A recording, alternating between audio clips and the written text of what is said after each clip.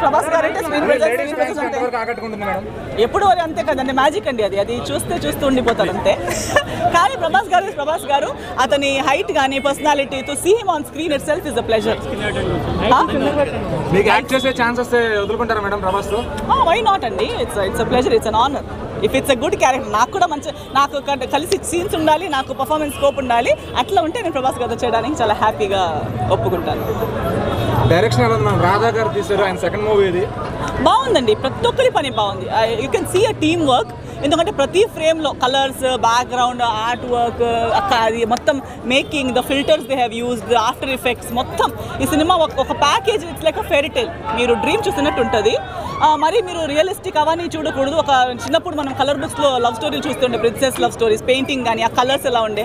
అలాగే మీకు పెయింటింగ్స్ చూసినట్టు ఉంటుంది ఒక క్యూట్ లవ్ స్టోరీ ఏమి టెన్షన్ లేకుండా చూసినట్టు ఉంటుంది లేదు చేయలేము. మేడం తమన్ గారి మ్యూజిక్ ఎలా ఉంది? చాలా బాగుంది. రిఫ్రెషింగ్ ఉంది స్వీట్ ఉంది సాఫ్ట్ ఉంది.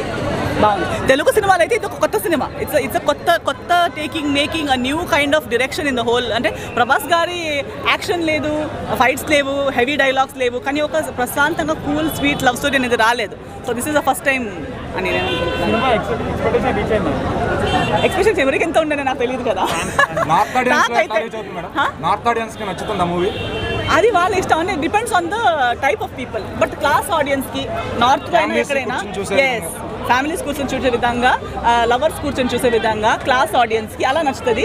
ఏదో మనకి లేచి డాన్స్ చేయాలి చిల్లర చేయాలంటే అలాంటి సినిమా ఉండదు? అది లేదు ఇందాక క్వశ్చన్లో ప్రభాస్ గారు పక్కన యాక్ట్ చేయడానికి ఓకే అన్నారు కదా.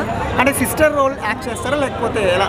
లేదు నేను హీరోయిన్ అండి. ఎప్పుడు I started as heroine I always be heroine ఒకవేళ సిస్టర్ రోల్ వస్తే యాక్సెప్ట్ చేస్తారా ప్రభాస్ గారితో? సిస్టర్ హీరోయిన్ అయితే సినిమాలో. సిస్టర్ క్యారెక్టర్ వల్ల సినిమా ఆడుతుంది అయితే sister character is the heroine of the film అయితే ఓకే మేడం యూవీ ప్రొడక్షన్స్ వాళ్ళు రిచ్గా ప్రెజెంటేషన్ చేశారని చెప్పొచ్చా? డెఫినెట్లీ దానిలో రెండు మాటలు లేవు.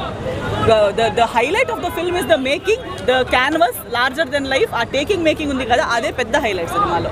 ఫ్రేమ్స్ ప్రతి ఒక్క ఫ్రేమ్లో కాంప్రమైజ్ లేదు. ఒక రేంజ్ తీశారు మొత్తం గ్రాఫిక్స్ బాహుబలి రేంజ్ ఓవరాల్గా మూవీ ఏం చెప్తారు madam?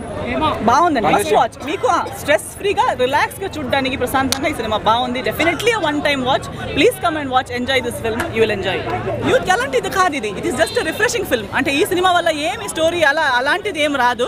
You only feel connected you feel that romantic feeling అనేది మీ లోపలికి వస్తుంది. You you'll remember someone you love or you'll feel like falling in love అలాంటిది మాత్రం అంటే తెలుగు ప్రజలకి మామూలుగా డైలాగ్స్ ఊర మాస్ ఇలా ఉంటే నచ్చుతుంది కదా? తెలుగు వాళ్ళకి నచ్చుతుంది అంటారు ఇది?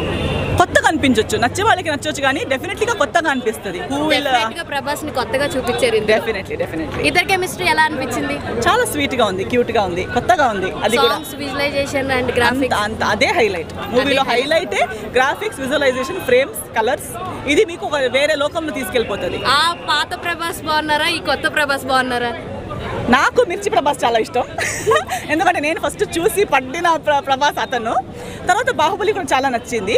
ఇప్పుడు I I can see that he's trying something new so ఈ ఈ సినిమాలో నాకు నచ్చింది మళ్ళీ. అంటే look and him trying to do something ఆ పామిస్ట్రీ అనే యాంగిల్ ఏదో కొత్తగా ట్రై చేస్తున్నారు. ఐఎమ్ కైండ్ ఆఫ్ అబ్జర్వింగ్ ఏం చేస్తున్నారు ఈసారి అన్నట్టుగా. So yeah he's having my attention but crush అయితే నాకు బాహుబలి అండ్ మిర్చి